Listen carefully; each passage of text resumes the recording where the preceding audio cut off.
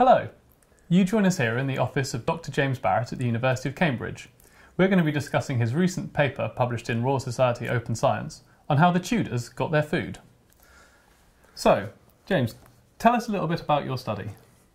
We had a, a unique opportunity with the, the wreck of the Mary Rose from 1545, which was recovered by the Mary Rose Trust, where they found casks and baskets which were associated with over 4,000 cod bones. And these bones were uh, particular because all the head bones were missing. Uh, they were all tails and, and bones from the, the fins just behind the head.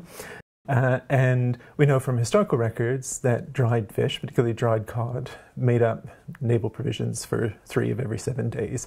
So, for instance, you would get a quarter of a dried cod in your day's provisions.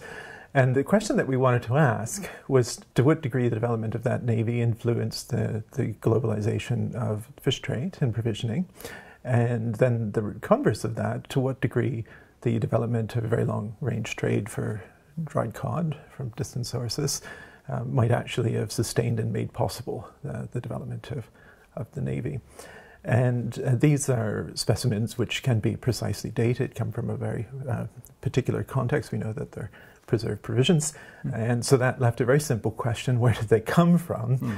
And the problem isn't it's a simple question, but it doesn't have a simple answer because cod are a very widely distributed species. Mm. And uh, we needed to develop methods to, to discover where they'd been caught.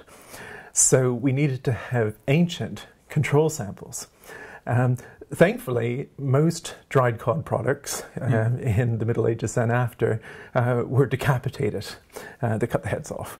So, uh, not all, but most. So, that means that you could use archaeological skull bones uh, from sites ranging from Poland and Sweden in the east to Newfoundland in the west, and from Arctic Norway in the north to southern England, for instance, in the south, that archaeological skull bones to discover the isotopic and genetic signature for different regions which were known historical fisheries. Mm, okay. And yeah. then having done that, and in a way that's the big job, mm. uh, and having done that, one could then take a subsample of fish bones from the Mary Rose and to see which of those sources they had the highest probability of matching.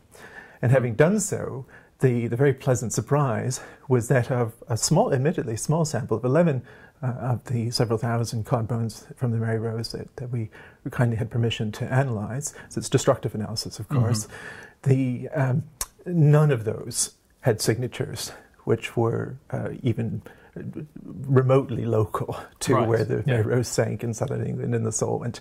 Mm. Um, there were known fisheries in southwestern England and the North Sea at the time, and in the Channel and in Ireland.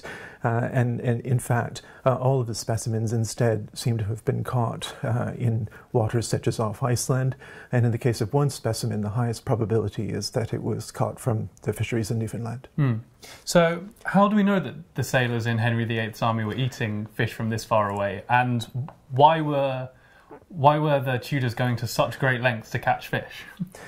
Well, the, the, the way that the method works in terms of how do we know, mm. um, the way that the, the method works, uh, as I've explained, depends in the case of the isotopes and the environment and diet. Mm. In the case of genetics, obviously, in the ancestry, if you like, of the mm. fish.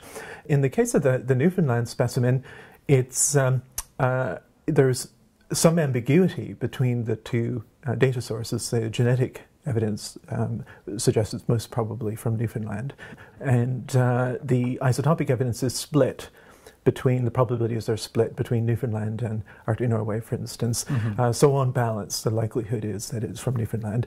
Uh, and this is entirely plausible because the, the uh, discovery of Newfoundland is attributed to John Cabot in 1497.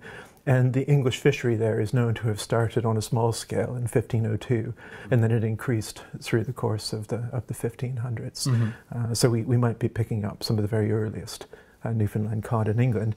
Now, your, your second question is uh, is why, yeah. and uh, and the the, um, uh, the, the remarkable thing is that this is part of a of a very long term trend, mm-hmm. Uh, where uh, in England and northwestern Europe in general, there's a, a gradual and sometimes punctuated expansion in the distant water fisheries and, and the dried fish trade. Mm-hmm. Uh, it's very economically important. Um, and it was particularly important for provisioning uh, increasing populations uh, of consumers in towns, for example, and uh, and that's a, um, a, a a question that I've been investigating for many years now.